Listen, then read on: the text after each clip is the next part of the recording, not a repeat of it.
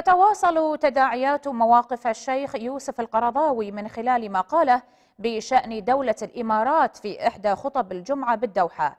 فبعد مذكرة الاحتجاج الإماراتية التي سلمت للسفير القطري استنكر الأمين العام لمجلس التعاون الخليجي هذه التصريحات.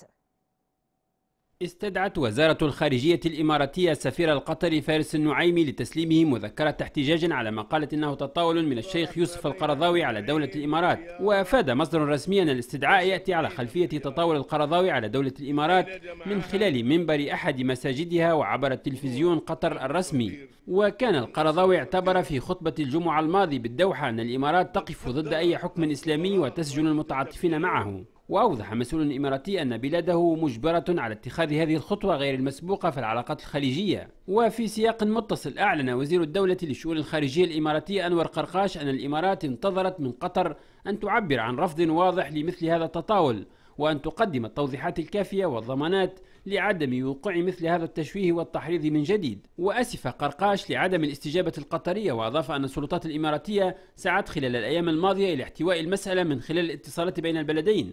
ولكنها لم تسفر إلا عن تصريح رسمي لم يشر إلى موقف حاسم يرفض خطاب القرضاوي على حد قوله. وكان خالد العطية وزير الخارجية القطري أعلن السبت الماضي أن القرضاوي لا يمثل السياسة الخارجية لقطر مشيرا إلى العلاقة الخاصة بين بلاده والإمارات وأكد أن أمن البلدين مترابط وشدد العطية على أن سياسة قطر الخارجية تؤخذ فقط من القنوات الرسمية للدولة. خليجيا استنكر عبد اللطيف الزياني الأمين العام لمجلس التعاون الخليجي الاتهامات التي وجهها القرضاوي للإمارات ووصفها بأنها تحريض مرفوض وادعاءات باطلة تثير الفتنة. وأعرب الزياني عن أسفه أن تصدر مثل تلك الاتهامات التحريضية تجاه الإمارات التي عرفت دائما بمواقفها المبدئية المشرفة وجهودها في دعم القضايا الإسلامية ونصرة ومساعدة المسلمين.